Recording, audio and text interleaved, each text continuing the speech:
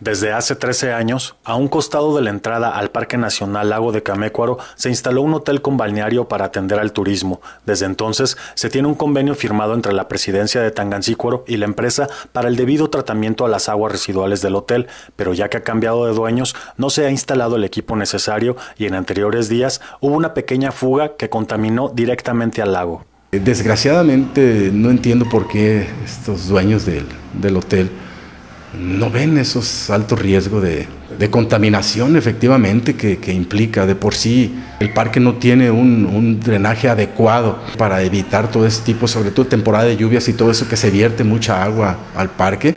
En días anteriores se subió un video a las redes sociales donde se mostraba cómo corría agua de los conductos de alcantarillado hacia el lago, despertando inquietudes y quejas por parte de la población. La ciudadanía también se manifestó de una manera muy fuerte, también eh, tengo entendido que se reunieron varias firmas de muchos ciudadanos de aquí de Tangancícuaro pues para presionar tanto a nosotros como ayuntamiento como a las dependencias del Estado para que vengan y hagan presión sobre esta gente y acate las reglas y las normas que debe de seguir para hacer el tratamiento de estas aguas.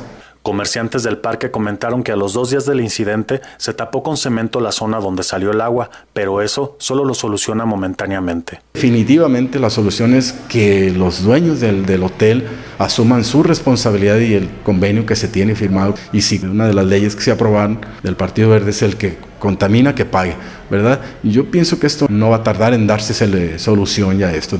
Desde el lago de Camécuaro reportó para SM Noticias Pablo Torres.